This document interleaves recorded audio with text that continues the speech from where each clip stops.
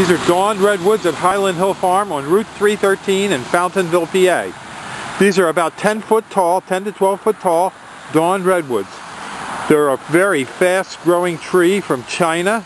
They were discovered in 1942 and they're uh, in the, the sequoia family. They're deer resistant and they can grow rapidly, two to three feet a year.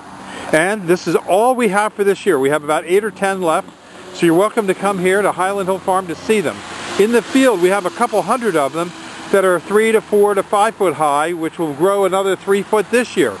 So give us a call at 215-651-8329 for your Dawn Redwoods. And also, we have on display at our yard the fossil from the Dawn Redwood tree.